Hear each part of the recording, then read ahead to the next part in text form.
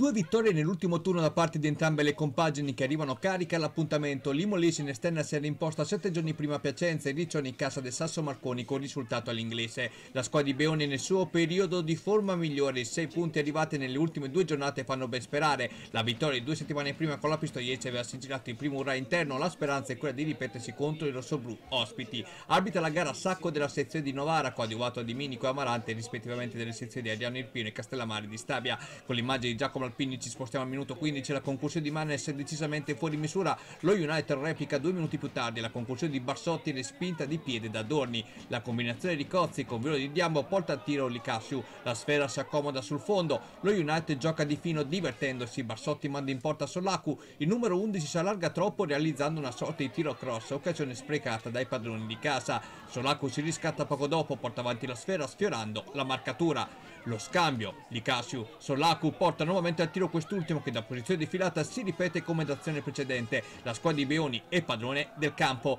Limolise prova a mettere il naso fuori dalla propria metà campo ma il tiro di Pie Federici è una comoda presa per Chiri. Più insidioso il tiro da fuori area di Manes anche se non inquadra lo specchio della porta. Soffrire di tempo c'è gloria per il Riccione. Arriva l'urà meritato quando Solaku penetrato in aria resiste anche a una carica servendo a Likasu un comodo cioccolatino. Il pallone chiede solo di essere accompagnato in rete così è festa grande per la band di Beoni. Applauso sotto lo spazio dedicato ai propri tifosi per il numero 29 del Riccione. A 45esimo il Riccione perviene al raddoppio, Diambo serve a centro l'assist del 2-0, tiro a botta sicura di Napolitano respinto sulla linea di porta con un braccio da un difensore dell'Imolese, alias Manzoni, espulsione per il numero 25 e dunque i Molesi in 10 uomini dal dischetto Ricozzi non perdona mandando i padroni di casa a riposo sul doppio vantaggio. Se nel primo tempo la padronanza territoriale del Riccione era netta, lo è ancora di più nella ripresa. Dalla punizione Diambo colpisce di testa indisturbato al centro dell'area di rigore. Adorni para. Ancora United, Barsotti mette al centro, ribattuta, Likasu alza la mira. Dalla distanza ci prova Lisari, Adorni fa buona guardia. Monologo riccionese da punizione di Cozzi manda in porta in Bakogu, pallonito dell'ex Capi sopra la porta difesa da Adorni. Per concludere il tiro di Napolitano respinto di piede da Adorni.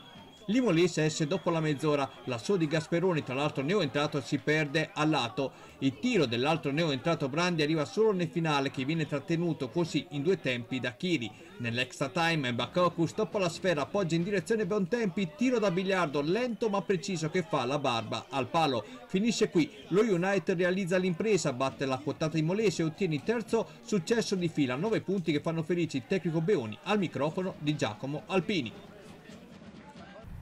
Sì, ehm, la, la squadra ha disputato un'ottima gara sicuramente contro uh, la squadra che forse era più in forma di quest'ultimo periodo di campionato, per cui era, era sicuramente un impegno difficile, l'abbiamo affrontato nella maniera più corretta, il, per una volta tanto come lo avevamo pensato, lo avevamo preparato, ci siamo riusciti eh, i ragazzi hanno disputato sicuramente un'ottima gara nel primo ma anche nel secondo che doveva essere chiaramente una partita diversa ma, ma non abbiamo corso grandi rischi, abbiamo avuto ugualmente eh, tante situazioni da poter sfruttare. Ma sì, le, le, le, situazioni sono state tante per poter fare anche il terzo, poi eh, non le abbiamo concretizzate ma è, era chiaro che in quel secondo tempo era più importante non, non dare spazi, non subire, non rimetterli in partita e su questo dico, direi che siamo stati eh, correttamente in campo. Ma la do a Sollaco come la do a tutti gli altri perché ci sono stati tutti i giocatori che hanno fatto la, la loro parte, Sollaco aveva quel compito di essere eh, pungente e di dare fastidio su certe situazioni alla loro difesa, ci è riuscito bene e gli va dato sicuramente merito a lui come va dato il merito agli altri di aver fatto quello che dovevano fare.